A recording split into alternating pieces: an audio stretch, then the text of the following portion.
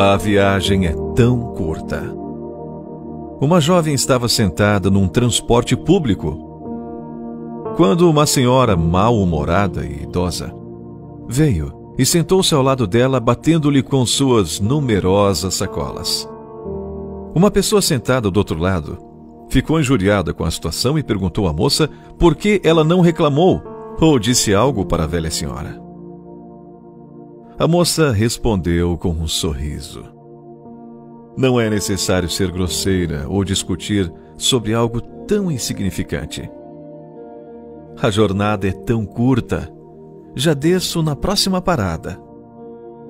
A resposta merece ser escrita em letras douradas no nosso comportamento diário e em toda parte.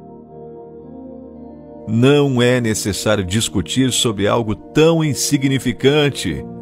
Nossa jornada juntos é tão curta. Se cada um de nós pudesse perceber que a nossa passagem por cá tem uma duração tão curta?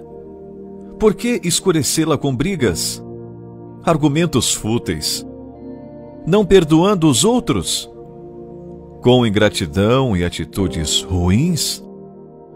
Isso seria um grande desperdício de tempo e energia. Não é verdade? Alguém quebrou seu coração? Fique calmo.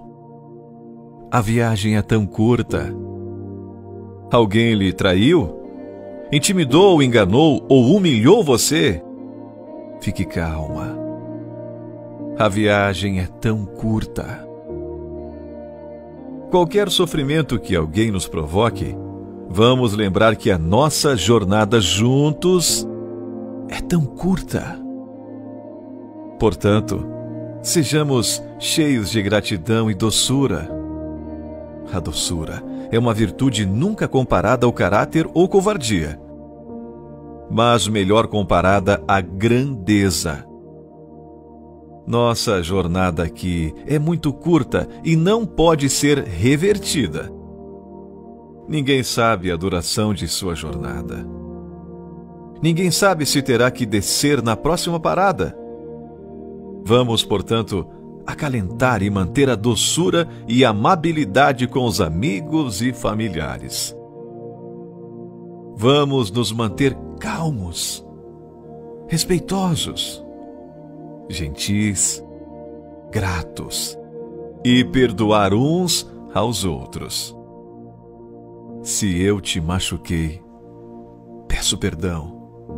E lembre-se, a viagem aqui é tão curta. Não é verdade?